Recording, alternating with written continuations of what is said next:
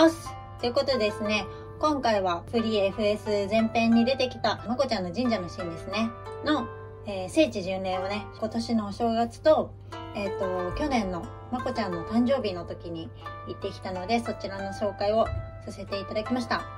で、えっ、ー、と、最後にね、御朱印がめちゃくちゃ可愛くて、それのご紹介をしていきたいと思います。で、まずね、御朱印帳なんですけど、緑なの。すごい奇跡。あの、まこちゃんのね、イメージカラーの緑と、あと、黄色？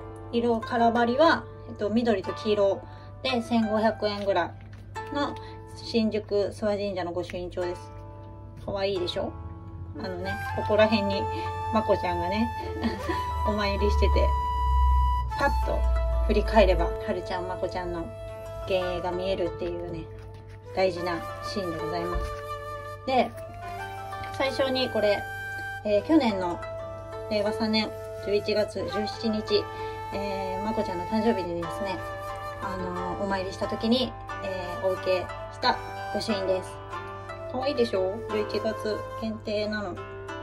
実り大きい感じで牛さんがいらっしゃいます。はい。で、次のページ、これ夢御朱印なんですけど、これはあの、京都のね、京アニフェスに行った時にお受けした御朱印です。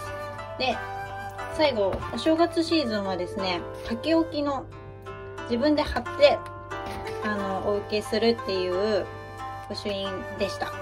すっごい可愛くない？紅白の虎さんと、これはタイかな？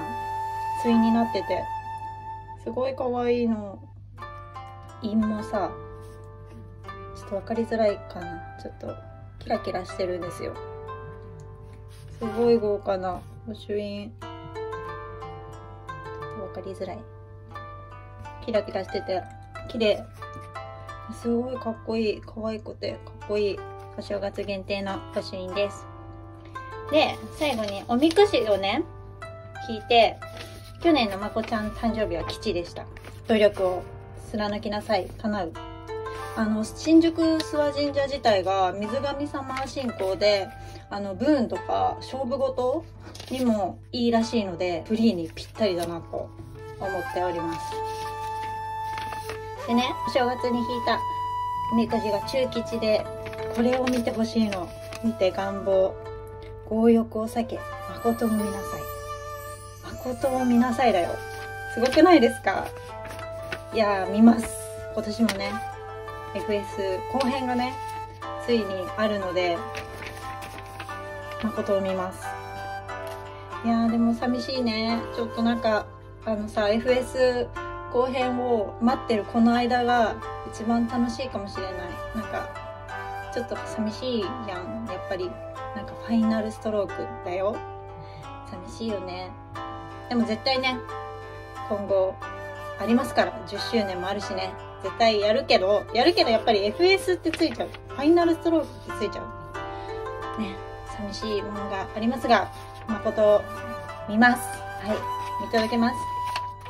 っていう今回の活動でした。新宿諏訪神社、すごいいいところなので、あの、一回行ってみてください。